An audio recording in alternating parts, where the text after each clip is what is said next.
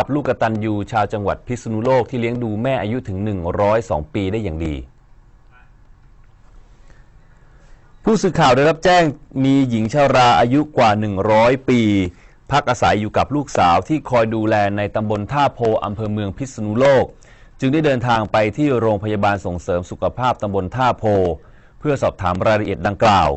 โดยทางนายมนัทเมืองพระฝางผู้อำนวยการโรงพยาบาล ส่งเสริมสุขภาพตำบลท่าโพ ได้พาผู้สื่อข่าวเดินทางไปที่บ้านเลขที่ 97 หมู่ 3 ตำบลท่าโพ พบนางเฟียม จันอิ่ม เกิดพุทธศักราช 2460 นอนพักผ่อนอยู่กับลูกสาวที่ดูแลผู้เป็นมารดาตลอดเวลา นางวิเชียนนุสติอายุ 70 ปี ลูกสาวคนเดียวเปิดเผยว่า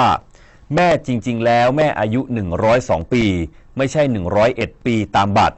และมีลูกจำนวนสองคน คนโตเป็นชายอายุ 83 ปีเสียชีวิตแล้ว เหลือแต่ตนคนเดียว ซึ่งช่วง 2-3 ปีที่ผ่านมา แม่ยังลุกนั่งทานข้าวได้เอง และเดินได้บ้างเล็กน้อย แต่ส่วนมากจะนั่งมากกว่า ซึ่งตนเองต้องคอยดูแลตลอดเวลาเพื่อคอยป้อนข้าวป้อนน้ำและคอยใส่แพมเพิร์สให้ ซึ่งแม่จะลุกนั่งได้เอง โดยไม่ต้องคอยพยุงตัว ก่อนจะขยับตัวได้เองไปนั่งที่ประตูทางเข้ามองดูลูกหลาน และพูดคุยได้ตามปกติ สภาพร่างกายสมบูรณ์การได้ยินปกติ สายตายังมองได้ไกล แต่ไม่ค่อยชัด ลูกสาวกล่าวเพิ่มเติมว่าเดิมทีมีอาชีพทำนาต่อมาขายข้าวแกงตามงานวัด และเป็นคนสมัยที่แม่ยังแข็งแรง ชอบทำบุญไปวัดพระทุกวันพระเป็นประจำวันธรรมดาจะใส่บาตรที่หน้าบ้าน และไม่มีโรคประจำตัว เพิ่งจะมาเป็นความดันเมื่อไม่กี่ปีที่ผ่านมา ซึ่งปกติแล้ว แม่ชอบกินข้าวกับน้ำพริกผัก และชอบปลาเผา ซึ่งทุกวันนี้ตนยังไปซื้อปลาเผามาให้กินอยู่เป็นประจำ วันไหนถ้าเหลนมาหาที่บ้านจะลุกนั่งพูดคุยกับเหลนด้วยความอารมณ์ดี แต่ผ่านมาครึ่งเดือนเหลนยังไม่มาทำให้แม่ ไม่ยอมลุกนั่งเหมือนเดิม ตนก็กลัวเส้นเอ็นกล้ามเนื้อยึด